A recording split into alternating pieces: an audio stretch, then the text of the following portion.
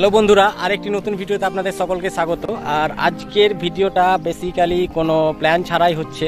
আর কিন্তু একটা জায়গা দেখে মনে হলো যে আপনাদের সাথে জায়গাটা শেয়ার করি, আপনাদেরকে জায়গাটা দেখাই, একটা রেয়ার একটা জায়গা। আমার পিছনে দেখছেন একটা ছোট একটা নদী, নদীটার নাম হচ্ছে বাঁশলই নদী। আপনারা হয়তো অনেকেই নদীর উপর দিয়ে অনেক ব্রিজ দেখেছেন রেল ব্রিজ অথবা সড়ক ব্রিজ কিন্তু নদীর উপরেই নদীর ব্রিজ হয়তো দেখেননি, আপনাদেরকে আজকে আমি দেখাবো। এটা হচ্ছে সেই বাসলয় নদী, আর এর উপর দিয়ে চলে গেছে ফারাক্কা ফিরার ক্যানেল, যেটা হুগলি নদীর সঙ্গে মিশেছে। আমি চলুন সেখানে গিয়ে আপনাদের দেখায় জায়গাটা।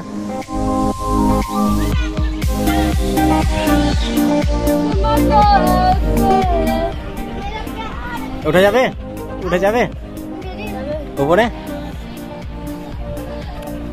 বারে, সাংঘাতিক অবস্থা তবে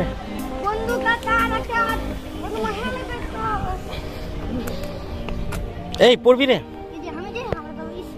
কিছু তো লাই এগুলা কিছু লাই মাস্টার। কিছু নয় না। তোর বাড়ি কোথায়?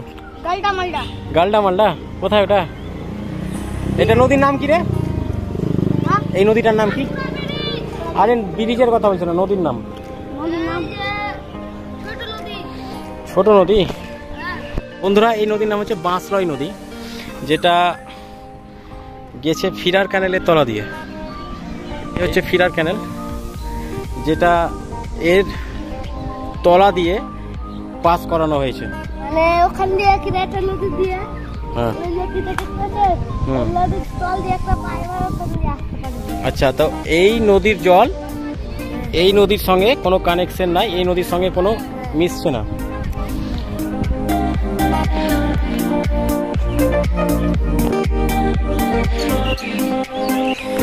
তো বন্ধুরা বুঝতে পারছেন এখান থেকে, ওই নদীর জলটা একটু উঁচুতে আছে, আর এই নদীর জলটা একটু নিচুতে আছে। এই সেই ফিরার ক্যানেল যেটা বাসরয় নদীর উপর দিয়ে বয়ে চলেছে বাসরয় নদীর সঙ্গে কোনো সম্পর্ক না রেখেই। আপনাদের ব্যাপারটা বুঝিয়ে বলি। যখন ফিরার ক্যানেলটা তৈরি হয়, তখন সেই ফিরার ক্যানেলের পথে বাঁশলা নদীটি বাধাপ্রাপ্ত করে। যেহেতু ফারাক্কা ফিরার ক্যানেলের মূল উদ্দেশ্য ছিল হুগলি নদীতে জল প্রবাহ ঠিক রাখা। তাই এই ফিডার ক্যানেলের সমস্ত জল কোনো বাধা না পেয়েই হুগলি নদীতে পাঠানোটা একটা চ্যালেঞ্জিং বিষয় হয়ে দাঁড়ায়। যদি এই বাসলই নদীর সাথে কানেকশন রেখে ফিডার ক্যানেলটা তৈরি করা হয়, তো পুরো জলটা হুগলি নদীতে না গিয়ে জলের প্রবাহ ডাইভার্ট হয়ে এই বাঁশলই নদীতেও প্রবাহিত হবে। সেই কারণে তখনকার ইঞ্জিনিয়াররা ডিসিশন নেন যে এই ক্যানেলের জলটা বাঁশলই নদীর উপর দিয়ে প্রবাহিত করা হবে। যার ফলে পুরো জলটা কোনো বাধাপ্রাপ্ত ছাড়াই হুগলি নদীতে প্রবাহিত হবে।